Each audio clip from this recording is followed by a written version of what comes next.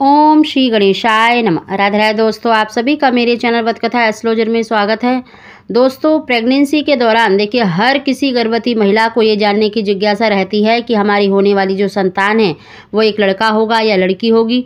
दोस्तों, आज की वीडियो में हम अपने बड़े बुज़ुर्गों के द्वारा बताया गया एक ऐसा ही आपको तरीका बताने वाले हैं, जिससे आप काफ़ी हद तक 99 परसेंट तक अनुमान लगा सकते हैं कि आपने एक बेबी बॉय को कंसीव किया है या बेबी गर्ल को। इस टेस्ट को देखिए प्रेगनेंसी के किसी भी मंथ में किया जा सकता है। इसको करने के लिए आपको केवल एक अदरक का टुकड़ा लेना है और आपको अपने यूरिन का जो फ़र्स्ट यूरिन होता है मॉर्निंग का वो लेना है। आप किसी भी बाउल में या मतलब गिलास में उसको डाल लें और आपको उसमें एक अदरक का टुकड़ा अच्छे से छिलकर आपको उसमें डाल देना है और उस गिलास को आपको 24 घंटे के लिए मतलब ऐसी जगह पर रख देना है जहाँ पर उसको कोई छेड़े ना।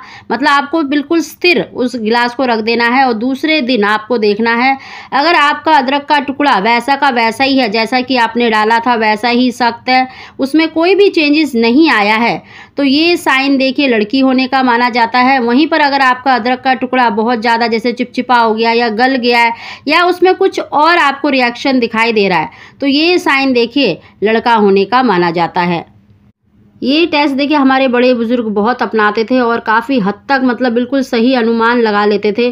तो आप इसको ज़रूर अपनी प्रेगनेंसी के दौरान करके देखें और ये आप ही बता सकते हैं कि ये जो तरीका है, ये घरेलू नुस्खा का मतलब कितना हद तक ये कारगर है।